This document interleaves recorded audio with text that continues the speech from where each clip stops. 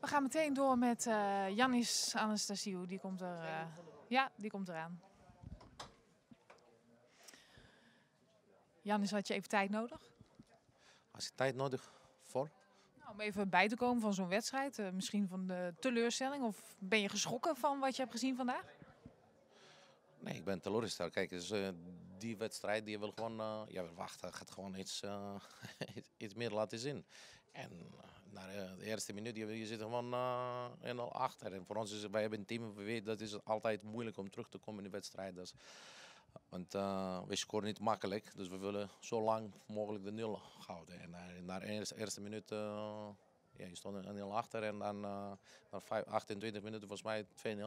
Ja, dat is gewoon, je maakt voor jezelf moeilijk. En dat was gewoon uh, ja, echt teleurgesteld. Kijk, ik neem altijd verantwoordelijkheid en ik ga gewoon mijn verantwoordelijkheid nemen. Maar ik denk dat is ook uh, één keer, we moeten gewoon ook, uh, iedereen moet gewoon zelf in de spiegel kijken. En moet gewoon zichzelf vragen, wat wil ik? En ja, dat is het. Ik denk dat op dit moment, we zijn in een fase, in dat, wij hebben iedereen hartstikke nodig, maar iedereen moet gewoon met de juiste instelling en de juiste zeg maar, geloof dat we kunnen gewoon dit doen. En het is gewoon, wij hebben gewoon ja, niet echt te laten zien vandaag.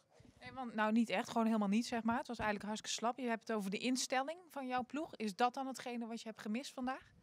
Ja, daar begint. Wij hebben gewoon, wij hebben in dit team de grootste kwaliteit. En we weten gewoon voor ons, als de instelling goed is, wij hebben gewoon altijd de kans. En ja, en je, je, merkt gewoon de laatste wedstrijd, de uitwedstrijd, we hebben gewoon een totaal ander gezicht als we thuis spelen. En dat moet gewoon, we, willen gewoon zeker met de juiste uh, gezicht spelen in alle wedstrijden. En niet gewoon thuis we spelen anders en uh, uit we spelen gewoon totaal anders. Maar hoe kan dat dan?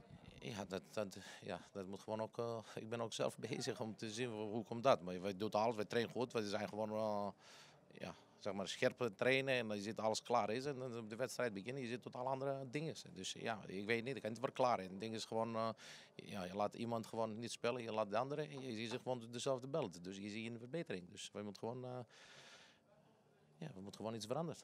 Ja. Ik vraag me dan af wat? Wat moet er veranderen en hoe, hoe ga je dit nou eigenlijk allemaal omdraaien? Ja, nu de, omdraaien is gewoon, ja, gelukkig is de wedstrijd op donderdag uh, dichtbij, dus we moeten gewoon, wij hebben weinig tijd, maar we moeten aan de andere kant, we moeten gewoon ja, snel een mooie wedstrijd spelen. We moeten gewoon de, die, die situatie aan onze kant draaien, maar we moeten gewoon zeker met de, uh, met de andere instelling in de wedstrijd beginnen. Ja, en, en hoe, hoe, ga je dan verder? Ga je dan gewoon uh, op dezelfde manier verder richting de wedstrijd tegen PEC? Want je zegt er moet iets veranderen, de instelling moet anders. Hoe ga je dan zo'n voorbereiding in? Ja, we hebben weinig tijd. We hebben drie dagen en dat is ook uh, kort. Maar uh, wij gaan zeker gewoon anders, uh, anders proberen. Gewoon. Ja, en wat ik zeg, dat is thuis voor ons gewoon een totaal ander beeld. Maar we moeten gewoon niet elke keer wachten dat gaat iets gebeuren thuis en uit wedstrijd. We doen niks.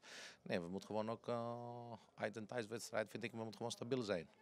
Ja, maar uh, ja, nu, ik kan niet veel dingen zeggen. We gaan gewoon uh, ja, alles uh, doen om dan de wedstrijd te winnen. Dat is het.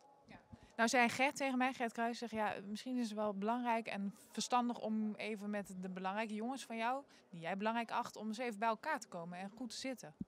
Ja, dat is. Kijk, uh, elke mening is altijd welkom. En, uh, maar wij deden dit, uh, ik deed, volgens mij, we, gewoon, alleen maar, we zijn gewoon alleen maar bezig met de belangrijke jongens, met de oudste jongens, met de ware jongens. Maar ik denk dat is het, vandaag als je kijkt, gewoon ja, de jongste in het veld, daar werken. Hij was de enige die heeft in de juiste instellingen getoond. De rest niet. Dus dat soms, je kan met oude spelers praten, met ervaringsspelers. Maar je moet gewoon, wat ik heb gezegd, iedereen moet gewoon in de spiegel kijken. Werk aan de winkel, dankjewel. En succes komende week.